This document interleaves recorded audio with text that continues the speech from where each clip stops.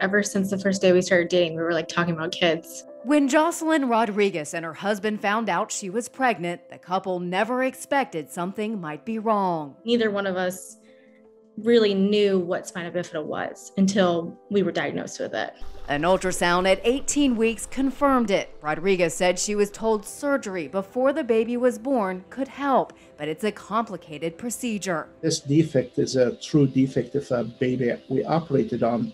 At Orlando Health's Winnie Palmer Hospital for Women and Babies, there's new technology to help. Pediatric neurosurgeon Dr. Samer Elbabaa used a 3D model of Rodriguez's fetus to help plan the surgery, being able to see the size and location of the defect from the true to life model printed from an MRI image. This technology actually makes the surgery uh, safer and more informative for the parents prior to surgery and helps me as a surgeon perform the surgery uh, safe, safer and and be more effective and quicker.